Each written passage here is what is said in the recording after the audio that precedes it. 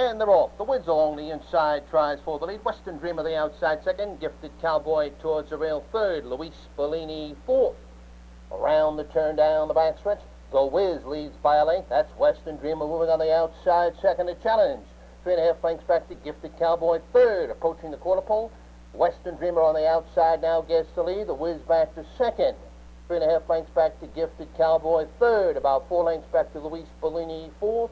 Arturo fifth. Quarter time is 27 and 2.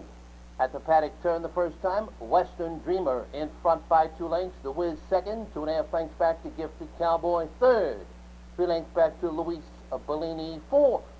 As they come by the stands the first time, Western Dreamer in front by a length and a half.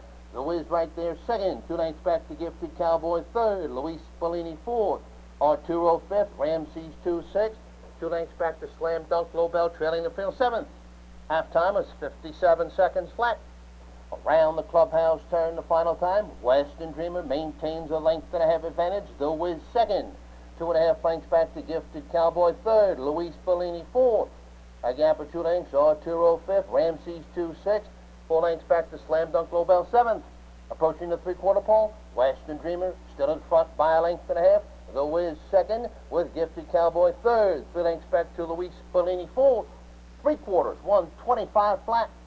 Round the far turn, Western Dreamer in front by a length and a half. The Wiz second, two lengths back to Gifted Cowboy third. They're at the head of the stretch.